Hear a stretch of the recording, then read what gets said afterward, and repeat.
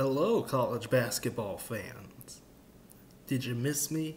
Did you miss this week? We got a great, great week of college basketball starting from Wednesday all the way to today. And well, we gotta we gotta go backwards a little bit. I think we'll go backwards a little bit today. And we're gonna start off with Virginia Tech, not Virginia. Don't worry, Virginia will play this team later. And the number three team in the nation, the Villanova Wildcats. Now, of course, Villanova had this game won, but uh, they blew a 12 point lead and went to overtime with Virginia Tech and lost. Hilarious. Hilarious stuff right there. You know, and, and, you know where they were playing? You know, Bubbleville. Yeah, baby, Bubbleville. That's right. Bubbleville is a thing. It is happening. There have been games canceled left and right. There have been games getting together left and right. But hey, we have a bubble for a lot of teams right now.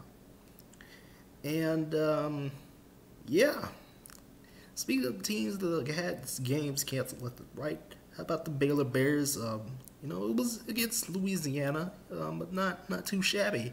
Scored 112 points. You know, you won your first game of the season. Duke also won their first game of the season, but it was against the black school, and those wins don't really count. So Wisconsin, your win doesn't really count. I, I just I just don't think the HBCUs are good basketball schools.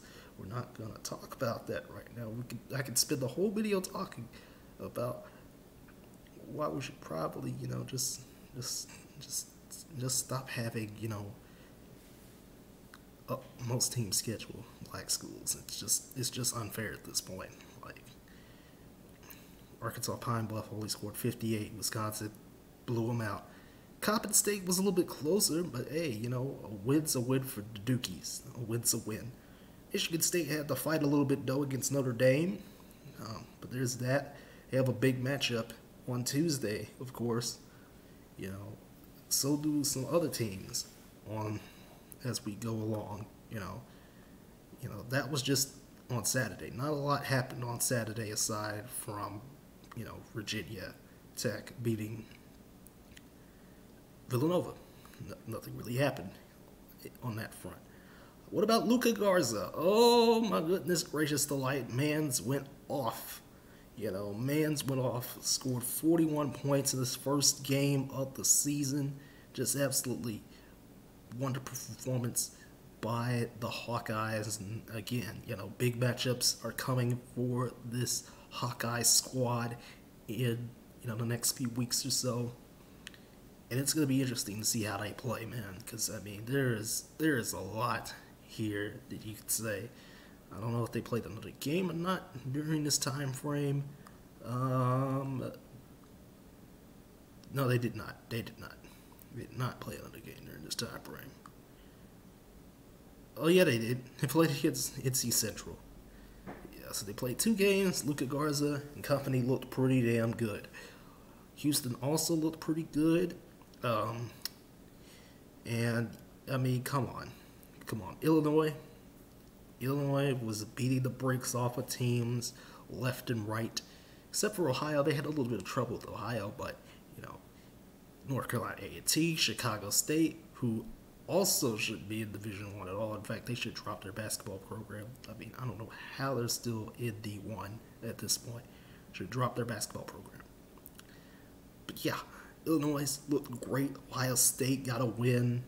Virginia, we'll talk about Virginia, you know, right now because that offense needs some work, man. They need some work. Yeah, they scored 89 against Towson, but uh, they really could score against San Francisco out of the West Coast Conference. Hey, we'll talk about the West Coast Conference in a moment because there's there's a team from the West Coast Conference that everybody needs to know, but we know who they are. But anyway, Virginia loses to San Francisco. Big time L. Big time. You can't do that if you want to be considered one of the best teams in the country. You can't do that. Illinois is looking great. It looks like they'll move up a little bit along with Iowa. They'll move up a little bit. Who else lost?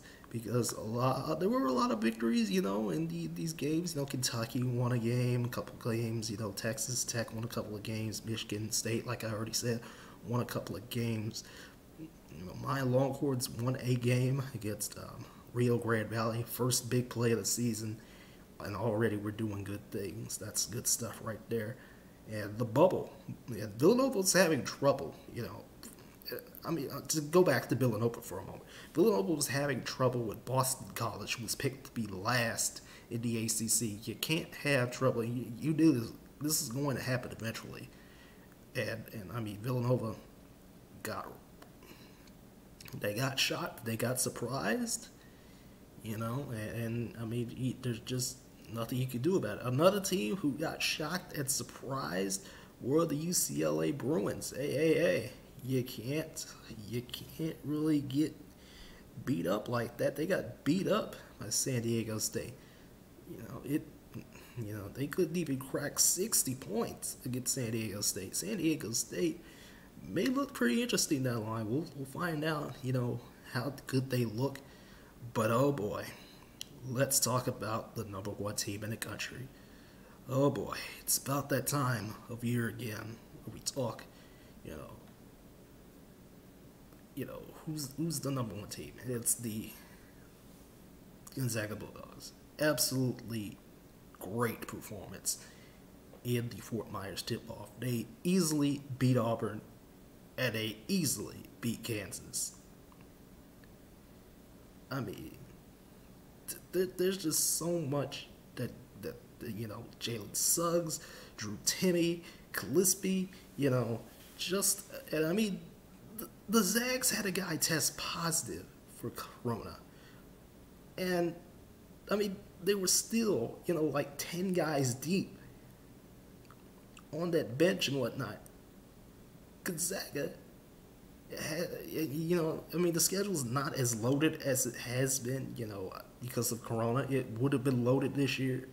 I guarantee you, if we were playing a normal year, it would have been loaded. You know, Washington would have been played, you know, there was supposed to be a game with Tennessee. You know, there was just there should be a game with Baylor, but we don't know that yet. We'll find out, you know, later as I preview um, the second week of the college basketball season in a few days or so. But Gonzaga looked like the number one team in the country.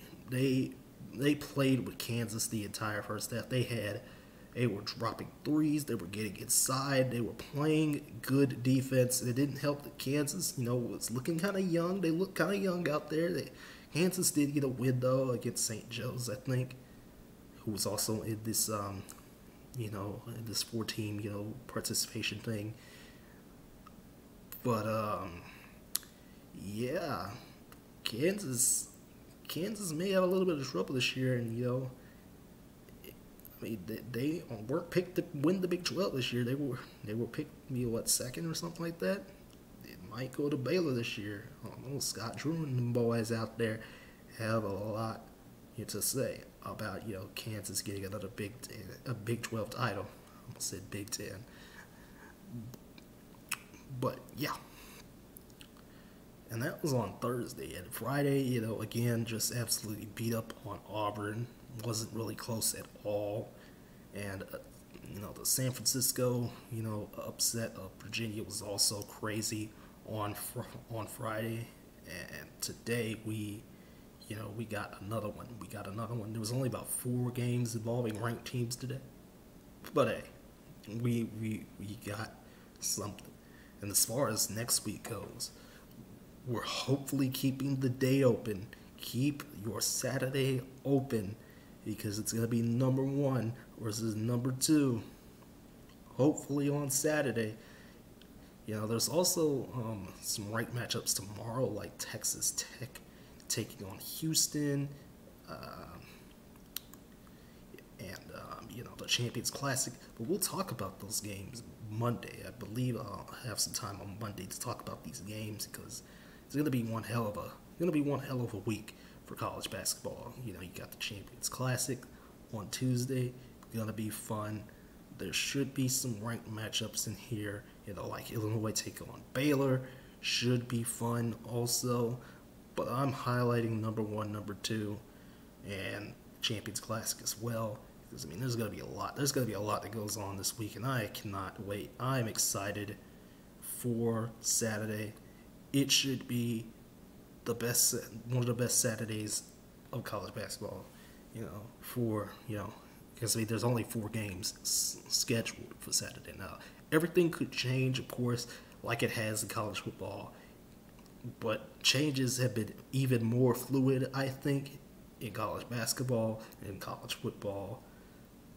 But yeah, it is going to be one fun week for us college basketball fans, and I cannot wait to feast on these games. You know, I'll talk about you know some more basketball in a few days whenever the NBA schedule gets released as well, so y'all can look forward to that.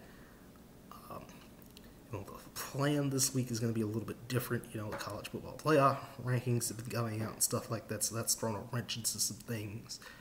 But you know, things are going to be fine here, and things are going to change. They're always going to change. They change every day here, you know, in this world. And hopefully we get the matchups we want this week, you know, that we've been clamoring for. You know, Corona, you know, we need a reprieve from her wrath, her fury, and hopefully we get four ranked matchups this week, along with, you know, another ranked matchup as well, but I don't really care for Texas Tech Houston right now. Talk about these other four matchups. It's going to be one hell of a week. Let's do it, boys. Let's do it, boys and girls. Let's do it. And I'll see you in the next video soon, everybody.